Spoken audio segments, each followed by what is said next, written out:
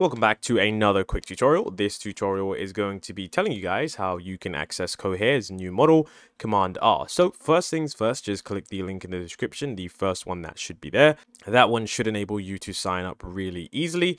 Then, once you've signed up and gone through the process, because uh, you do have to sign up and put a few details in, don't worry, it's nothing crazy. You don't actually have to pay anything. You just have to, you know, sign up and make an account. Once you've signed up and you've made an account, you just want to click the link in the description. That's going to take you to this page, which is the playground. And essentially, you can try Command R in the playground. So once you're in the playground, you can come over to the right hand side and you can see that we already have these family of models, the Command Light, Command Light Nightly, Command R. Then we've got, of course, the new model, which is Command R plus. So this is where we can, um, you know, program it. This is where we've got connectors, which is where we can use um, web search, so where we can use a bit of RAG because this is going to ground it in reality.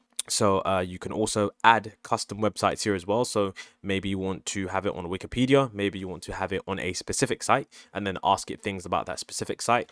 In addition, you've got different parameters where you can, you know, change the randomness, the temperature, and of course you can see the prompt truncation, which is where, you know, um, you know, some chat messages and some documents will be automatically dropped to avoid it going over the token limit. So you can, you know, change that whether or not you want a web search or not. So um, with this, you can say, uh, you know, gather business intelligence on Chinese markets. You can see Command R.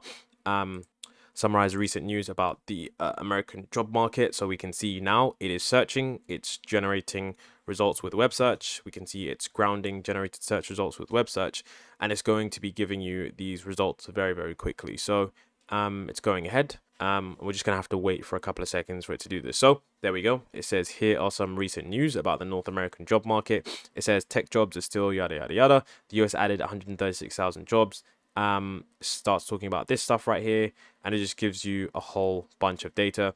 And it gives us a lot more data as well, which is really cool. Um, it's still going. Wow, it's still, still going. Um, still going still going wow wow wow okay so so far this looks pretty pretty more comprehensive um, and this does have 128,000 context length. Bugging out here just a little bit because it seems to be repeating the same message again and again. But um, this is just Cohere. I'm guessing that maybe with web search, I don't know, it, it might be a bit um, weird, but this is just how you access Command R plus. Of course, you can do a variety of different things with it. I don't know why it just started to glitch out there. It was just like like saying the same thing again and again. Might just be a bug on my end, but um, there's a lot of different ways as well. You can also use um different programs here, but um, this is how you access the new model if you just want to try it out in the playground. Something you can easily do.